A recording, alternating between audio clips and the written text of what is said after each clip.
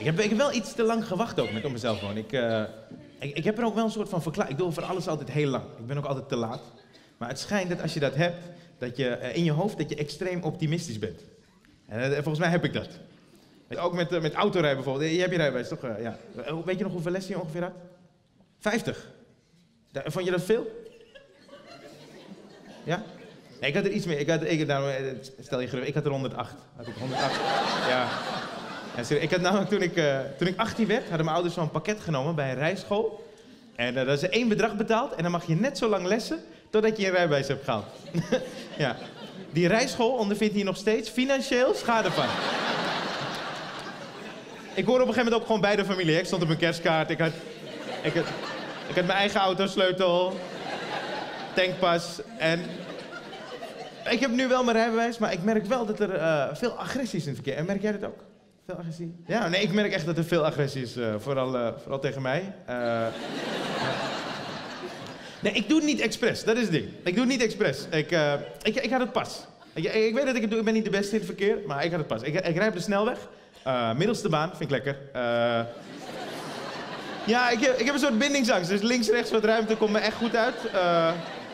en ik, had, ik betaal wegenbelasting. Nou, ik had mijn, ik had mijn linker knipperlicht had ik aanstaan. Ik weet ook niet waarom. Nee, ik, ik had hem aanstaan. Ik weet, niet, ik weet niet waarom. Maar hij stond al een tijdje aan. en achteraf weet ik wel waarom ik het niet had gemerkt. Want het geluid van de knipperlicht, die... Het ging tegelijk met de beat van de muziek die ik aan het luisteren was. Ja. Dus ik dacht, het is een soort remix of zo. Klinkt goed, beter, tof, cool man. Nee. Er is dus een auto achter me, die is blijkbaar al een tijdje aan het wachten tot ik naar links ga. En dat gebeurde niet. Dus op een gegeven moment, ik denk dat hij ook dacht, oké, ik ga hem niet inhalen, straks gaat hij alsnog naar links. En die man had dus door van, oh, er is iets aan de hand. Of hij heeft het zelf niet door. Hij wilde me wenken.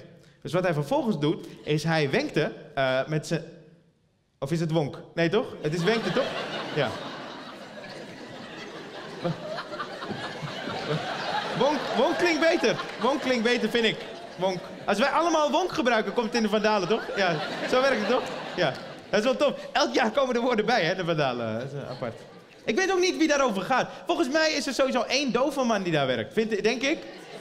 En die mag daar één woord... Anders snap ik woorden als vernuikend niet. Nee, volgens mij is er gewoon één dove man die zegt... Nee, wil ik vernuikend. Ja.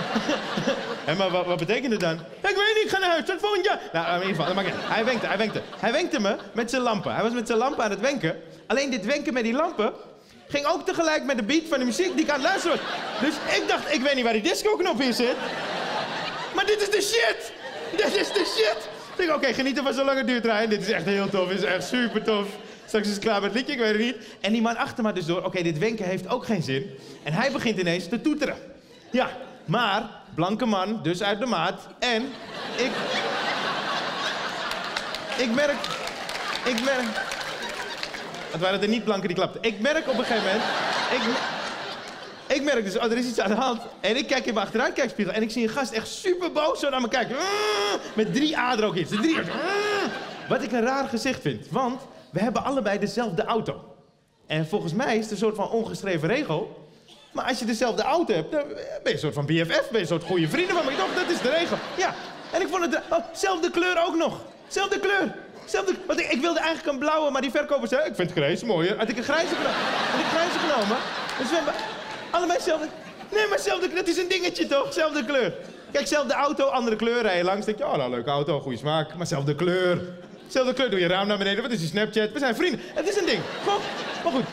Ik zie die gast, hij heeft mij gezien, jaar, en hij begint ineens naast me te rijden. Meteen, hè, hij is naast me te rijden, op dezelfde snelheid ook. En dat blijft hij rijden. Hij wil namelijk oogcontact maken. Dat wil ik niet. Nee, best wel niet. Nee.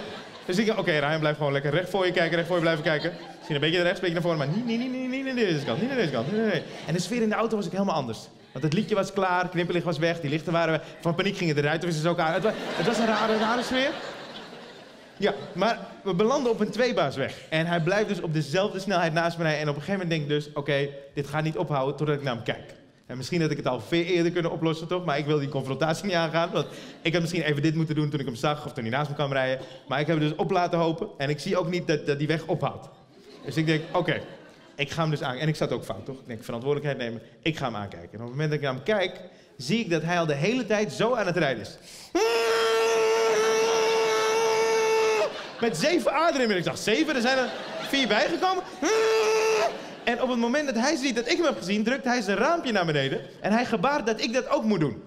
Waarop ik denk, nope, gaan we niet doen. Gaan we, nee, gaan we zeker niet doen. Maar achteraf was het helemaal niet nodig. Uh, hij zit ook naar me te kijken. Maar, hoezo niet? Ik, dus ik doe ook in mijn auto. Ik heb geen idee mijn raampje naar beneden. Uh, nee, ik weet niet meer. Uh, geen idee. En hij kijkt me ook aan. Ja, flikker, we hebben dezelfde auto. Je hebt gezien hoe het moet, toch? Of niet? Maar achteraf was het helemaal niet nodig dat mijn raampje naar beneden was. Want voor wat hij schreeuwde, kwam het zo dwars door mijn raam heen. Over het nieuwe liedje, over die ruitenwissers. Want voordat hij wegscheurt, schreeuwt hij in mijn auto... Kut Marokkaan! En hij rijdt weg.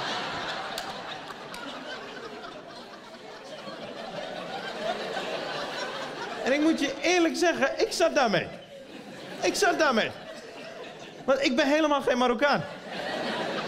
Ik ben een Hindoestaan. En toen ik thuis kwam, ik, ik zat er echt even mee. Want ik dacht, blijkbaar draag ik dus bij aan het Marokkanenprobleem. Misschien zijn dat helemaal geen Marokkanen. Misschien ben ik het.